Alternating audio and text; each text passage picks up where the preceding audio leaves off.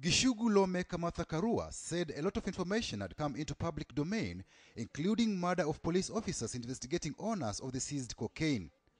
Last August, an inquest confirmed that senior GSU officer Erastus Chemorey was executed in broad daylight without any reasonable excuse. The officer was believed to have been keeping keys to the stores where the cocaine was secured. MPs are now pushing for a new probe and resignations of top government officials implicated in the case. Could the Attorney General find out if investigations have been reopened, names of people in high places? Tell the Kenyan public, Mr. Speaker, who are the drug lords in this country, Mr. Speaker. Tell us how we will deal with one Mr. Iteere, who was part of the Kenyan team, who was then in charge of the GSU. Could he come with evidence to this house to prove that what was being destroyed was actually cocaine and not ungangano?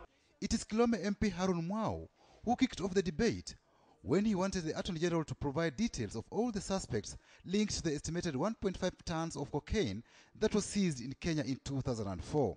George Kirago, alias George Kenothia. Two, David Mugo Kirago.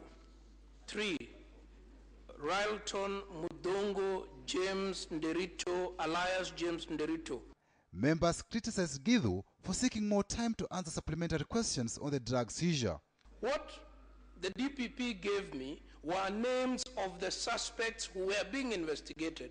There was no way either I or the DPP would have anticipated that this House would want to know whether any of its members was mentioned in that report. Being quite honest that if the question relates to another office in government, there should be proper consultation in government before he brings answers to this question. In the past, uh, there has been more or less a conspiracy to conceal the truth relating to this matter. The Attorney General assured the House that he would give comprehensive answers to their questions within two weeks. Patrick Amimo, KTN Prime.